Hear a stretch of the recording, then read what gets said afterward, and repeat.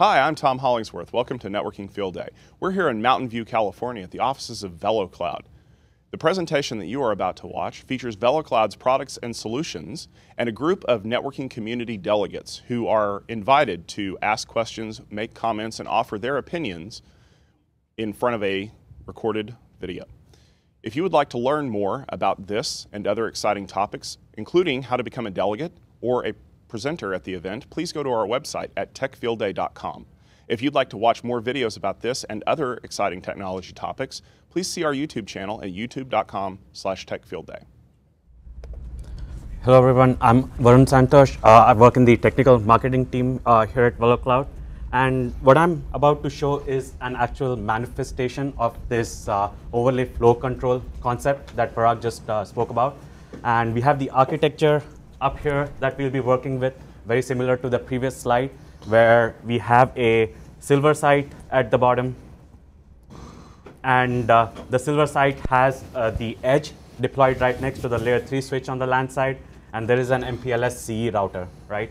Uh, on the hub side, we have two hubs. Uh, uh, we have all the IP addressing up here, and the idea is to be able to manipulate routes uh, or traffic that goes to legacy sites, right? So the demonstration is all about how does route learning happen in the SD-WAN domain. Now, once the routes, uh, routes get learned on the orchestrator, how do you then go and program uh, all your subnets, right? So how do you program this specific subnet to say either use a hub and spoke where all the traffic goes through the hub or uh, go direct mesh all the way to the legacy site. So the demonstration is all about how easy it is and how we can scale based on this centralized view of the entire SD-WAN domain.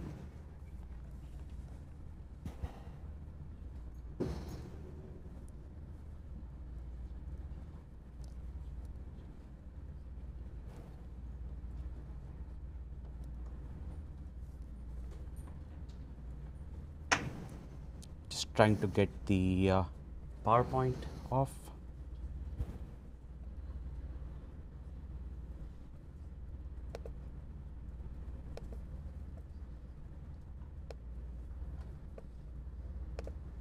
Okay, so this is the demo system we are uh, working with, and the uh, and the network topology, right?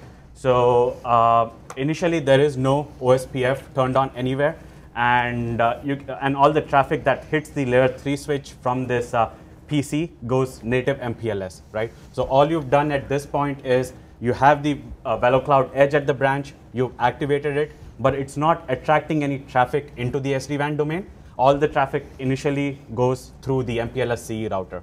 So what I'm going to demonstrate is how you can enable OSPF, how easy it is to enable it across all the branches, how the route learning happens, and then the programmability aspects. So everything happens through profiles. Let me log back in.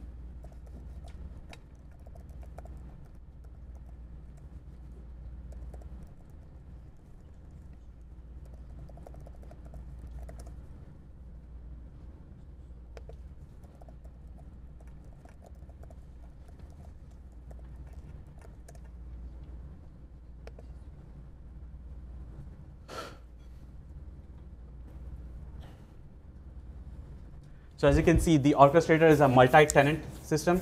So you can see all the customers that are uh, managed by this orchestrator. And the enterprise that I'm interested in is Acme. So I'll go into the enterprise.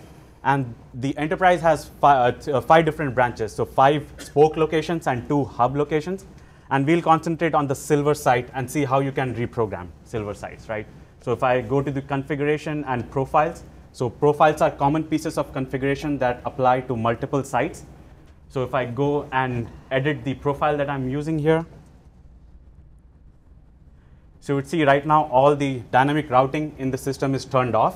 So what I'm going to do is turn OSPF on. But before turning OSPF on, let's look at the overlay flow control table. So the overlay flow control table is a centralized view of the whole SD-WAN domain it shows you all the networks that are dynamically uh, learned by all the VeloCloud devices. So right now you would see it's only the directly connected uh, routes that show up. There is no OSPF learning happening yet, right? So if I go back to the profile, and turn on OSPF. So you have a few different options. You can specify the area ID. You can uh, choose to send default routes down or only send specific SD-WAN overlay routes. So I'm going to uh, advertise all SD-WAN overlay prefixes. And the minute I save these changes in the profile, what the orchestrator does is it pushes that configuration to all the edges that are using this specific profile, right?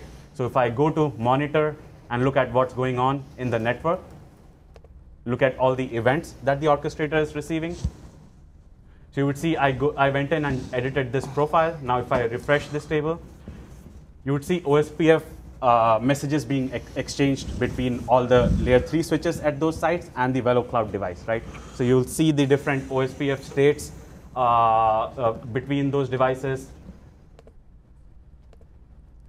And they go, get to a OSPF full status. So this is where the route exchange has happened between the VeloCloud Edge and the existing layer 3 devices.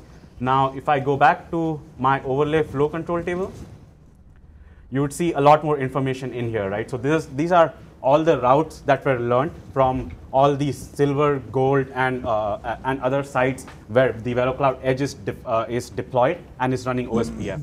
So for example, if I look at a specific subnet, the, this specific route, the 10.12.0.0 route, let me blow it up a little bit. So this route is being learned from multiple destinations. So for example, here it's being learned by the silver site, and you can easily go in and see what are the OSPF uh, adjacencies that this site has formed. So you go into adjacencies, you would see it's running OSPF with a single neighbor. Uh, similarly, if I look at a hub route, you would see the multiple uh, OSPF neighbors that the hub is talking to and learning and exchanging routes with. So this, again, gives you a scalable view into the whole SD-WAN domain. It has all the routes in here, but you can easily go in and filter. So again, the idea was uh, for the legacy side, I want to move from using a hub side to sending traffic directly over MPLS. So you can go in and look at just the legacy side. So as you can see, the OSPF is configured such that uh, all traffic to the legacy site is sent through the hubs. So if I switch back to the network diagram really quick. So what's happening here is uh, any traffic that comes in from the LAN side, it hits the layer 3 switch. Uh, the layer 3 switch has been programmed via OSPF to send all the traffic into the SD-WAN domain through the edge. Now the edge has a couple of different routes it can take to send traffic to the legacy. So it has multiple SD-WAN overlays, uh, one across internet and one across MPLS all the way back to this hub, right? So when you have hub at the top, what it says is my SD-WAN overlay should end at the hub, and then the traffic can go to the legacy side. The actual link that it picks is based on the link conditions at that time. So if we start sending packets down this path towards legacy and we start seeing packet loss, jitter, or latency on that link, we can, in a sub-second fashion, start using the other overlay across MPLS and send that traffic to the hub, and then the hub can then uh, U-turn it back to a legacy system, right? So if I jump to the PC that was connected at that site and run a ping test real quick.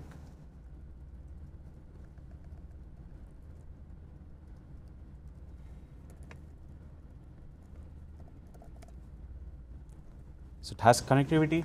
And now if I uh, trace route to that destination, you'll see a couple of different IP addresses here right? So the first IP that you'll see is the 192.168.128.1 IP. So that's the uh, that's the layer 3 switch. So all the traffic defaults to using the layer 3 switch. But the hop after the layer 3 switch is the 10.12.1.1 IP, which is the VeloCloud Edge, right? So right now you have the hubs on, on top of the router in the overlay flow control table. So all the traffic hits the edge and it goes over SD-WAN back to the hub and back to the MPLS domain right? So that's what is happening here. The traffic gets to the edge, it writes the SD-WAN overlay, and it, it, goes to one of the hubs, right? So 172.29.0.1, that's the uh, hub one, the edge at the hub one, and then it forwards traffic native MPLS to the legacy side, right? So that's that's what this trace route is showing. Now the other aspect is the change, right? So suppose the uh, enterprise wants to go from a hub and spoke model where all the traffic was being back backhauled. Now they want to send traffic using path number two, where traffic gets sent directly through the CE router. So again, I'll go back to the overlay flow control table and hit the edit button. But again, this edit button is only for that specific subnet, right? So you don't have to go to a hundred different sites and make this change. All you go, go is all you do is go to this central table and flip the MPLS router above both the hubs, right? So what this tells the edge is now instead of attracting traffic into the SD-WAN overlay, reprogram the layer 3 switch to send it directly over MPLS. So I hit update. And now if I go back to my monitor events and say look at the last 60 minutes, so I made this update for this specific subnet. Now if I refresh this, you will see the uh, uh, overlay flow control uh, uh, reconfiguring the WAN elements, right? So the control plane gets reprogrammed at all the sites automatically, even though I made change only at one subnet, right? So if I refresh this, the control plane converges uh, at all the different sites, and now they know how to send traffic to this uh, legacy subnet through the native MPLS domain. So we'll just give it a few seconds for this to converge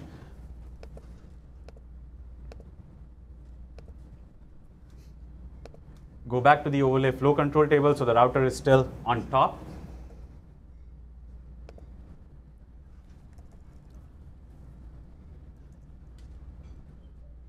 Okay, so we still have connectivity and now if I run a trace route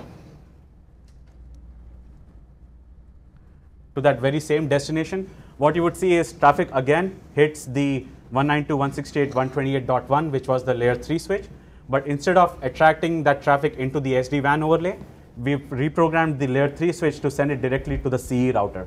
So the 10.12.0.1 IP that you see, if I go back to my uh, network diagram, the switch has been reprogrammed to send the traffic directly over MPLS. So now the enterprise has gone from using a hub and spoke model where everything was being backhauled to a mesh model where they can send uh, MPLS traffic directly uh, through the CE router out of curiosity, the, the events that you're seeing in the overlay over overlay flow yeah. window there, uh, where are the events at? Are, are, those events from your appliance itself, or or are yes. you seeing the events from the layer three switch in the? No, so these are all from our uh, devices. They're telling, hey, we've reprogrammed the uh, the WAN uh, control plane uh, to make this route less uh, less desirable than the other route, right? So all the messaging is from our devices. Yeah. How impactful is this kind of change to the network? I mean, it's like if you were running a continuous ping, would you lose a couple of packets or? Yeah, so this, this again uh, goes back to the legacy routing protocol, right? Like the, uh, the OSPF timers and how you set up the network. So uh, from a configuration push perspective, this happens pretty instantaneously where we send out the configuration down to the edge at that site. But uh, the OSPF reconvergence. So it's just all based on your OSPF reconvergence? Correct. Yeah. Yeah. And uh, just to add to that point, so uh, the overlay flow control table, even though I've taken the example of OSPF, this works similarly for a service provider deployment where you might be running BGP instead of uh, OSPF, right? So uh, I do have another setup uh, where uh, instead of uh, OSPF at the hub site, now you're running BGP with the VeloCloud gateway from the service provider's PE router. And the overlay flow control table works exactly the same way, even in that uh, scenario, right? So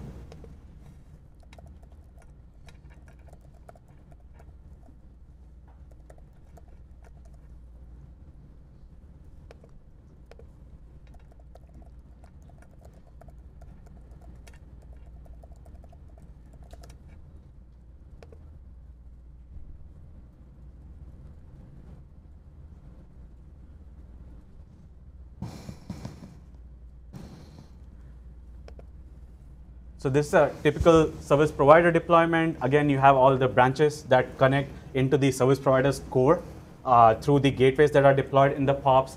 And if you look at the overlay flow control table, the concept remains the same.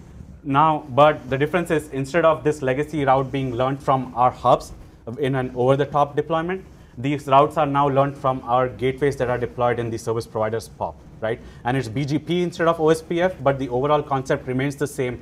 You can go in and easily change the preferred exit points to either go native MPLS, backhaul all the way to uh, the SP's core network, right? So you can look at the BGP adjacencies uh, at all these locations, and the overall concept remains the same. Uh, you can configure uh, all the BGP parameters on the VeloCloud gateway now instead of the hub. Uh, and, uh, and the rest of the operation remains the same. You have the same programmability even if this is deployed in a service provider network.